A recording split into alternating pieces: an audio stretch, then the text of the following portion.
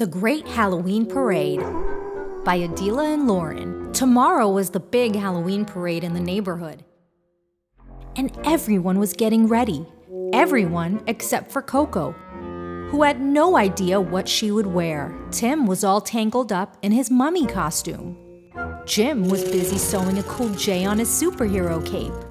Tony found the perfect bandana to match his cowboy hat. Jerry kept practicing his vampire voice in the mirror. Elle couldn't decide if she should wear her eye patch over her right eye or left eye. Caroline was busy fluffing out her bunny tail. Hunny kept brushing her lion's mane.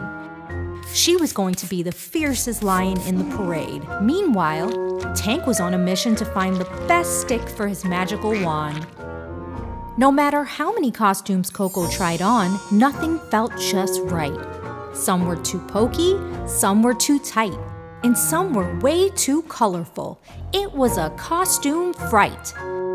Finally, the big day arrived. They all gathered in front of the school. Koko felt nervous as she came out with just her treat bucket. She worried. Her friends might be disappointed that she wasn't wearing a Halloween costume. However, something wonderful happened.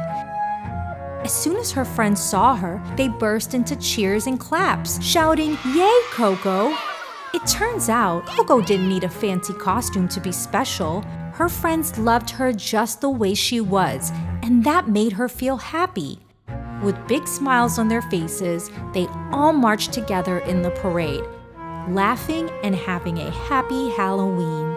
The end. Get your copy on Amazon and Kindle.